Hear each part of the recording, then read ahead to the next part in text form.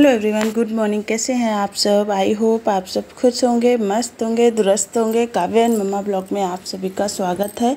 तो अभी सुबह के बज रहे हैं छः और यहाँ पर मैं अपनी बनाने जा रही हूँ ग्रीन टी या फिर काढ़ा बोल सकते हैं, जिसमें मैंने डाल दी है थोड़ी सी अदरक, हल्दी। हल्दी मतलब अभी डालूँगी अजवाइन, काला नमक और इसमें हो सके तो हल्दी ना, कच्ची हल्दी डाल दें, लेकिन मेरी ना थी नहीं ख़त्म हो गई थी। इस वजह से मैंने ये वाली हल्दी डाल दी और बस एक गिलास पानी चढ़ाएँगे तो जब वो आधा रह जाए, आधा कप, आधा गिलास तो बस उसको छान करके उसमें फिर डाल देंगे नींबू। और शहद हो तो शहद भी डाल सकते हैं, और मैं तो शहद डालती नहीं हूँ, क्योंकि मुझे उसकी फ्रेगनेंस जो है अच्छी नहीं लगती। तो बस जब तक मेरा मेरा जो ग्रीन टी है बन रही है, मैंने ब्रश व्रश कर लिया। उसके बाद आज मैं आपके साथ शेयर करने जा रही हूँ अपने लिविंग रूम का डीप क्लीनिंग तो मुझे मतलब अपना हॉल अच्छे से साफ़ करना ही था, क्योंकि घर से आए तो उसके बाद कोई सफ़ाई हुई नहीं इधर हॉल की। और वैसे भी अगर सफ़ाई नहीं भी करो तो वैसे भी क्या है मोटा मोटा मैंने आके कर लिया था, लेकिन अच्छे से डीप क्लीनिंग नहीं हो पाई थी, क्योंकि तूफ़ान कुछ ना कुछ रोज़ तो हवा वगैरह ऐसे आ रही थी तो उससे बहुत ज़्यादा डेस्ट आ रही थी। तो फिर फाइनली मैंने सोचा आज अच्छे से कर ही लेते हैं, क्योंकि बहुत ज़रूरी हो गया था और बहुत ज़्यादा गंदा घर हो गया था। तो एक से डेढ़ महीने के बाद घर से लौट के आए तो फिर पूरा घर तो एकदम पूरा मैसी सा मिला मुझे। तो इस वजह से ये करना बहुत ज़रूरी था और जाले वाले तो बहुत ज़्यादा नहीं थे, लेकिन हल्के फुल्के थे। अगर उनको टाइम से नहीं हटाया गया तो फिर वही बढ़ जाते हैं इसलिए। और ये ग्लास वगैरह पे तो बहुत ज़्यादा धूल हो रही थी तो बस फटाफट से मैंने सारा सोफ़ा वोफ़ा सब वो कर दिया है। उसके बाद ये सारी चीज़ें हटा हटा के फिर मैंने साफ़ कर दिए हैं यहाँ के जाले और जाले साफ़ करने के बाद फिर इनको लगे हाथ सब चीज़ों को लगा दूँगी। और क्या हो रहा था ना ये मैंने पॉट रेडीमेड बन आप मतलब सॉरी रेडीमेड नहीं आ, ये घर पर ही बनाया था आप सबको पता है। लेकिन इसकी हाइट थोड़ी सी वो हो रही थी तो मैंने अंदर से थोड़ा सा कागज़ डाल के फिर मैंने इसमें प्लांटर डाला है तो फिर और अच्छा लग रहा है। तो बस सब जगह की इस तरह से पूरे अच्छे से जाले हटा लूँगी। और सुबह का अभी ज़्यादा टाइम नहीं हो रहा क्योंकि बहुत जल्दी उठी थी मैं तो इस वजह से क्या है मेरा काम जो है बहुत जल्दी समय से ही हो जाएगा। तो अच्छा रहेगा और बच्चे अभी सो रहे हैं, सिर्फ़ मैंने काव्य को जगाया, क्योंकि काव्य क्या है ना, मेरी हेल्प कर देगी। कहीं अगर ऊंचाई पे आप हो तो दूसरा कोई अगर है तो कोई चीज़ लेना, देना, इससे क्या है, बच्चों की हेल्प मिल जाती तो काफ़ी कुछ काम जो है ईजी हो जाता है।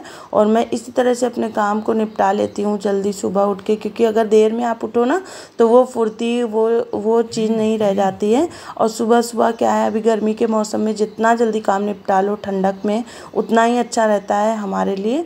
और फिर अपना दोपहर में रेस्ट कर सकते हो आप।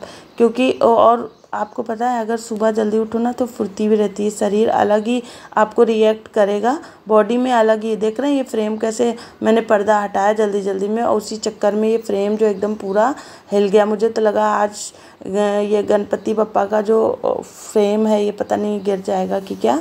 लेकिन खैर, भगवान जी बच गए और उनको अच्छे से फिर मैंने लगा दिया सेफ्टी से। और यहाँ पर मैंने पूरा टीवी वगैरह सब अच्छे से क्लीन कर लूँगी। और आज ना सोफ़ा कवर भी सब मुझे धुलना है। मतलब आज कहने का कपड़े भी बहुत ज़्यादा ज़्यादा हैं। डीप क्लीनिंग पूरी अच्छे से करनी है। बहुत सारे काम हैं। और मेन चीज़ है ना, ये घर पर नहीं है। तो मैं सारे काम अच्छे से निपटा सकती हूँ। मुझे इतनी ज़्यादा हेडक नहीं रहती। और ये घर पर रहते ना तो बस वही पूरा सिर्फ़ खाना पीना, यही रेगुलर वाला काम हो पाता है। ज़्यादा कुछ नहीं हो पाता है। तो आज मैंने सोचा कि आज मैं ये सारे काम कर ही डालूँ, बहुत ज़रूरी हैं इसलिए। तो चलिए इसके ऊपर की पूरी क्लीनिंग कर लूँगी और इसके ऊपर ना इतनी ज़्यादा मिट्टी निकली थी कि पूछिए नहीं, पता नहीं कहाँ से आती है पक्के घरों में मिट्टी। समझ में ही नहीं आता मुझे।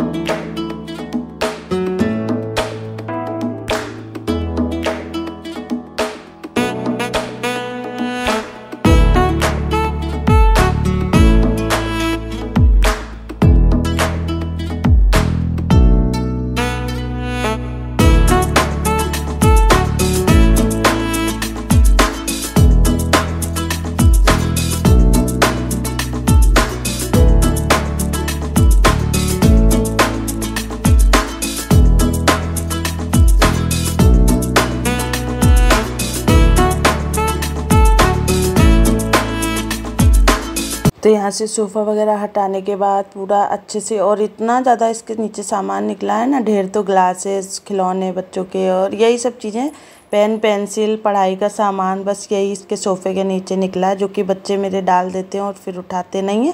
और जब सोफ़ा हटाओ ना, तभी ये सब कुछ मिलता है मतलब एकदम कॉमन हो गया है।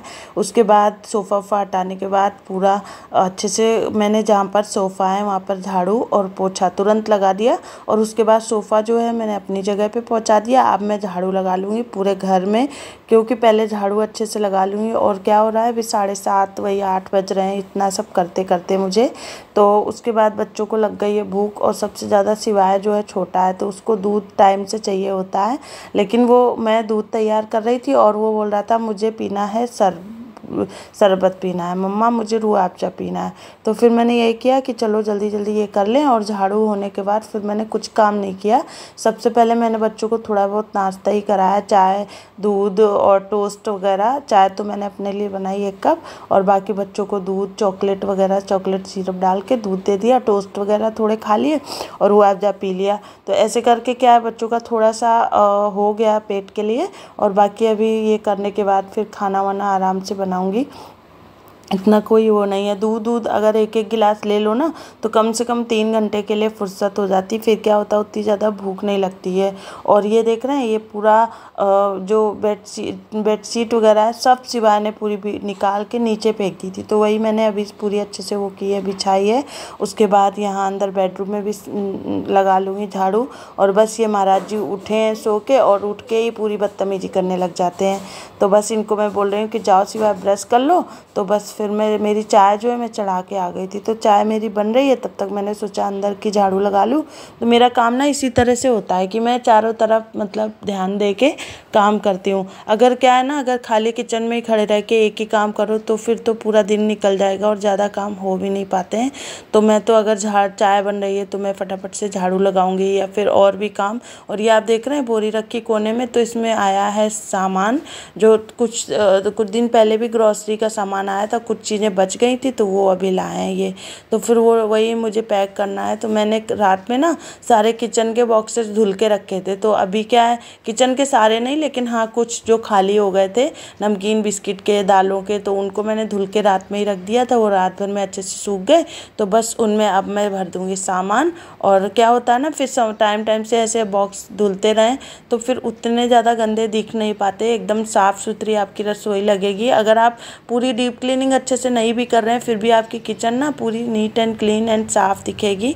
तो यहाँ देखिए, सिवाय को मैंने दे दिया है रूह आपचा और अब मैं रेडी कर दे रही हूँ यहाँ पे दूध। तो मेरी बेटियाँ भी दूध पियेंगी और ये भी पियेंगे और इनके ना सर में लग गई है चोट। तो वही मैं देख रही हूँ और इसने क्या किया, खिड़की से खिड़की के ऊपर चढ़ के सीधे नीचे कूदा है। तो सर में लग गई चोट और आईब्रो तक फट गई है, समझ लो। और तो बैडमिंटन जो होता है ना, उसके ऊपर ही ये कूदा तो बैडमिंटन पूरा लग गया है। इतना मतलब इतनी ज़्यादा शैतानी करता है कि जिसका कोई रिकॉर्ड नहीं है।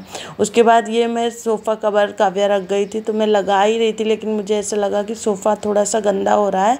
तो बस यहाँ पर थोड़ा सा हमने ले लिया है कॉलिन, और जिससे कि इसको अच्छे से खूब साफ़ कर देंगे। तो ये रैक्सीन है जी थोड़ा सा भी कपड़ा मारो मारो ना तो खूब अच्छे से साफ़ दिखाई देने लगता है। लेकिन ये है ना कि हमें करना पड़ता है। अगर इस छोटे छोटे काम को भी हम टाइम टाइम से कर लें तो हमारा घर साफ़ सुथरा और सुंदर लगता है। देखिए, घर चाहे अपना हो या फिर किराए का हो, घर तो घर ही होता है ना। उसको हमें ही स्वर्ग बनाना है, हमें ही सुंदर रखना है, साफ़ रखना है।